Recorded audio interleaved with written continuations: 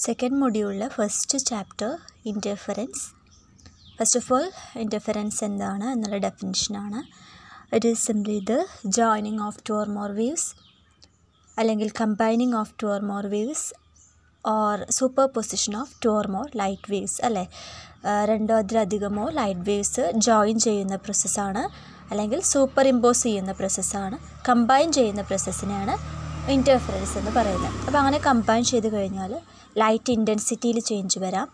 Energy ഡിസ്ട്രിബ്യൂഷനിലും change വരാം. അല്ലേ? അപ്പോൾ രണ്ട് സോഴ്സിൽ നിന്ന് വരുന്ന ലൈറ്റ് കമ്പൈൻ ചെയ്യുമ്പോൾ ലൈറ്റ് ഇന്റൻസിറ്റി കംപ്ലീറ്റ് ചേഞ്ച് വരാം. എനർജി ഡിസ്ട്രിബ്യൂഷനിലും ചേഞ്ച് വരാം. അപ്പോൾ നമുക്ക് ഇങ്ങനെ ഡിഫൈൻ ചെയ്യാം.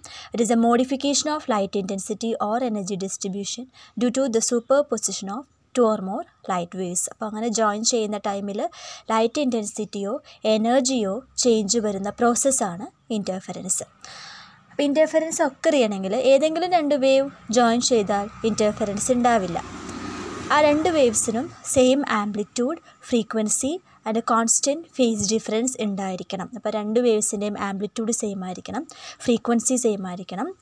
വേവ് ലെങ്ത്തും സെയിം ആയിരിക്കണം കോൺസ്റ്റന്റ് ഫേസ് ഡിഫറൻസും ഉണ്ടായിരിക്കണം. ഫേസ് ഡിഫറൻസ് എന്ന് പറഞ്ഞാൽ ആംഗിൾ ചേഞ്ച് ആണ്. അപ്പോൾ രണ്ട് വേവ്സും തമ്മിലുള്ള ആംഗുലർ ചേഞ്ച് എന്ന് പറയുന്നത് അല്ലെങ്കിൽ ഫേസ് ഡിഫറൻസ് എന്ന് പറയുന്നത് സെയിം ആയിരിക്കണം.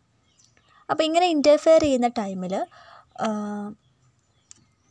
alternate bright and dark regions are obtained അപ്പോൾ ഒരു എക്സാമ്പിൾ ഇവിടെ കൊടുത്തിട്ടുണ്ട്. ഇതൊരു സോഴ്സാണ് ഫസ്റ്റ് സോഴ്സ് ഇത് സെക്കൻഡ് സോഴ്സ് അപ്പോൾ നിന്ന് വരുന്ന സോഴ്സിനെ നമ്മളൊരു സ്ലിറ്റിലൂടെ ഒരു ഓപ്പണിങ്ങിലൂടെ ഇങ്ങനെ പാസ് ചെയ്യുകയാണ് so this will bend like ഇങ്ങനെ സ്പ്രെഡ് ചെയ്യും അല്ലേ?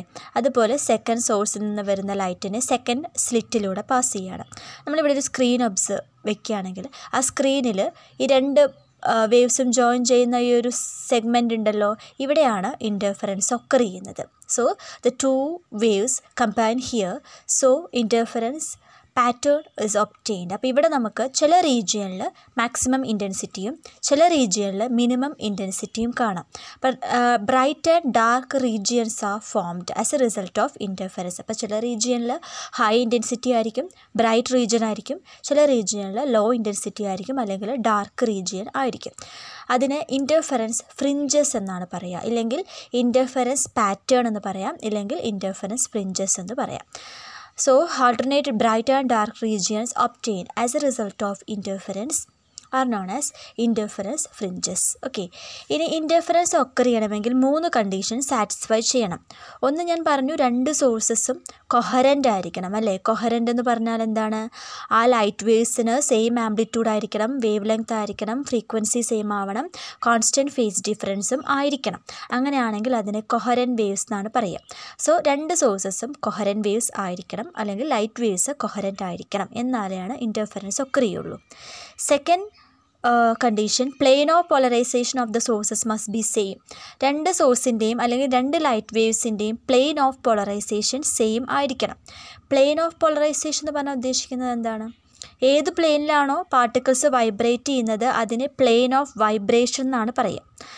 അതിന് പെർപ്പൻഡിക്കുലർ ആയിട്ടുള്ള പ്ലെയിനിനെയാണ് പ്ലെയിൻ ഓഫ് പോളറൈസേഷൻ എന്ന് പറയുന്നത്. ഓക്കെ അപ്പോൾ ഇങ്ങനൊരു പ്ലെയിൻ ഉണ്ടെന്ന് വിചാരിക്കൂ. ഈ പ്ലെയിനിലാണ് പാർട്ടിക്കിൾസ് എല്ലാം വൈബ്രേറ്റ് ചെയ്യുന്നത്.